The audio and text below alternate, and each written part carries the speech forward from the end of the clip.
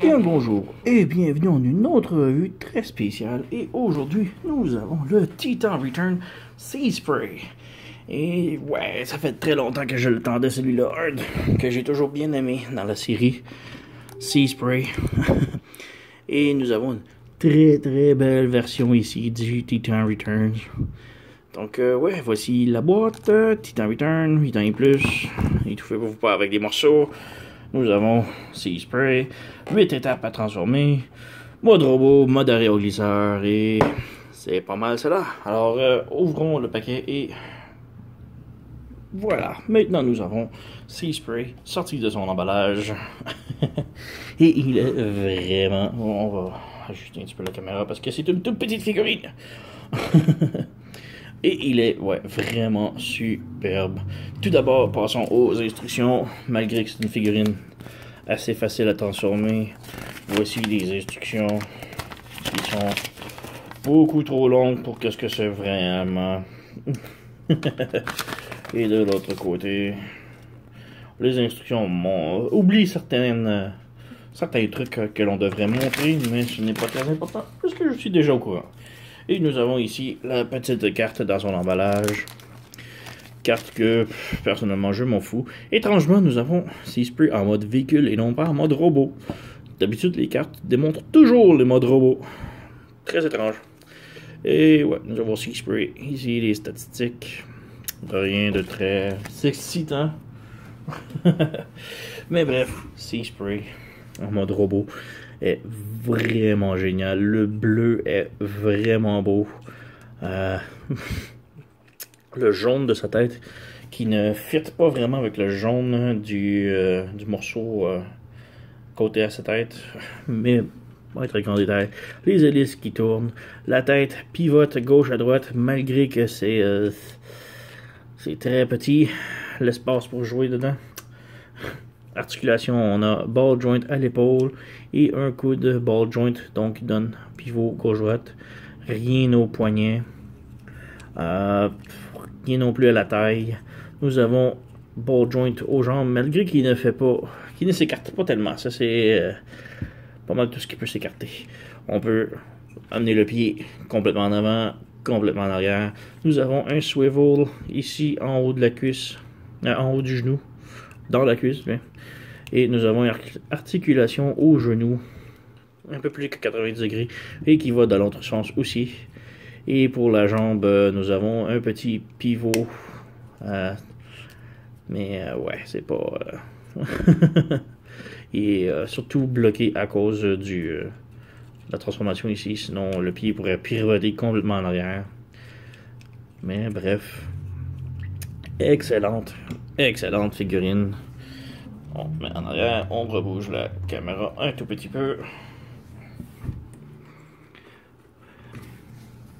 Pour une comparaison, nous avons ici le G1, mon original de mon enfance, Sea Spray. nous avons ici le High Gear Sea Spray, qui est une toute petite coche en dessous de côté taille. Vraiment petit. Nous avons ici le Toy World Sea Spray. Vraiment génial. Revue qui s'en vient très bientôt. Et nous avons le plus bizarre de tous, le Voyager Sea Spray. Même lui, il vient de retourner, il trouve ça très étrange comme Sea Spray. On comprend pas les décisions qui ont amené à faire une version Voyager de Sea Spray. Mais bref, c'est un personnage que j'aime beaucoup. Alors, euh, bien sûr, je les ai tous. Donc, euh, ouais, on enlève les autres comparaisons. Et on revient à Sea Spray pour la transformation. Euh, on enlève tout d'abord la boîte à pizza ici, qui est un lance-missile en fait. Qui ressemble très beaucoup à une boîte à pizza. On enlève. Oh, et juste une petite précision ici sur le bras. On peut-tu faire un focus? Oui nous avons de l'écriteau cybertronier. Euh, il y a quelques temps de ça, peut-être euh, deux semaines, une semaine, deux semaines, euh, Transformers ont releasé une, hmm, comment dire, un langage cybertronien à traduire avec des messages codés dans des produits que l'on achète de Transformers et on peut décoder ce message. Et ce message ne fait pas exception. Sur son bras, c'est marqué Alana. Pour les euh, nerds, les nerds parmi nous, Alana est la petite amie de Seaspray dans l'épisode de G1 des Transformers, les vieux, les vieux, vieux, vieux cartoons. Euh, Seaspray avait une petite amie, euh, je crois que c'est une sirène, qui s'appelait Alana. Et, euh, et, voilà, il a un tatou de Alana sur son bras. Et ouais, même chose de l'autre côté. Bref, on revient à la transformation. On lève ici la boîte en arrière. On la ramène complètement par dessus. Les bras, on les ramène par en haut. Et on branche. Il y a un petit peg ici sur le côté et dans, la, dans le poignet que l'on branche ici et ici. Petite porte ici qui vient bloquer le visage. Personnellement, moi, je déteste ça. C'est très euh, étrange comme... Tête, euh, le reveal de la tête. Simplement bloquer le visage. Mais bref, la version G1 est très similaire. Alors, on va lui pardonner. On ouvre ici les portes derrière les jambes et on amène les pieds complètement à l'intérieur. On peut brancher les, le cockpit ici. Et on ramène complètement les jambes. Et ici en arrière, on ramène les jambes à l'intérieur.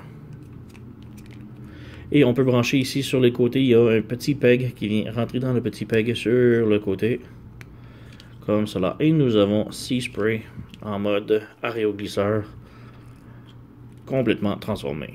Et c'est un superbe aéroglisseur. Très très beau. On va juste taber comme du monde. Ouais, comme je dis, superbe aéroglisseur, petits autocollants sur le dessus. Pour la boîte à pizza, on peut la serrer juste ici, ce qui donne une arme au à l'aéroglisseur. Et euh, ouais, les petites hélices il y en a un petit déchu, un petit peu déchu de, des hélices qui ne tournent pas euh, au vent. pas vraiment. Mais bref. Euh, on peut ouvrir ici la porte en arrière. Truc qui n'est pas mentionné dans les instructions. Nous avons une boîte. Et cette boîte peut servir, si je peux prendre par exemple le Titan Master de Cop. On peut prendre le petit personnage, l'asseoir à l'intérieur. Et Ici, la tête devrait rentrer juste dans le trou. Et nous avons un emplacement pour serrer le titan. Le Headmaster. Bref. Donc, euh, ouais, très beau, très beau, très beau. Révoluisseur. Les vitres peinturées. Le blanc ici est peinturé par-dessus du bleu, quand même bien fait. Euh, sinon, pas grand-chose d'autre à mentionner. La boîte en arrière avec le titan à qui est quand même bien, malgré que je crois pas m'en servir beaucoup. Petite comparaison ici avec les autres avec les autres Transformers en mode Sea Spray, en mode euh, aéroglisseur plutôt. Donc nous avons le Sea Spray G1, juste ici. Nous avons le High Gear Sea Spray, juste ici. Nous avons le Toy World Sea Spray, et pour terminer, nous avons le Voyager Sea Spray. ouais, euh, très bon Sea Spray. Très bon mode aéroglisseur. Et comme je mentionnais plus tôt, la tête ici euh, du G1 se cache derrière la boîte à pizza du, de la version G1. Et donc c'est pour ça que on va lui laisser euh, le petit panneau ici qui cache son visage. On va accepter. Mais bref, excellent figure, figurine, excellent Sea Spray. Euh, la série de Titan Return qui commence à refaire des classiques comme ça c'est vraiment génial de la part de Hasbro de nous donner enfin des très beaux personnages que l'on attend depuis très longtemps. Alors, ouais, euh, rien d'autre à mentionner. Donc, euh, ouais, hmm, merci d'avoir écouté et à la prochaine.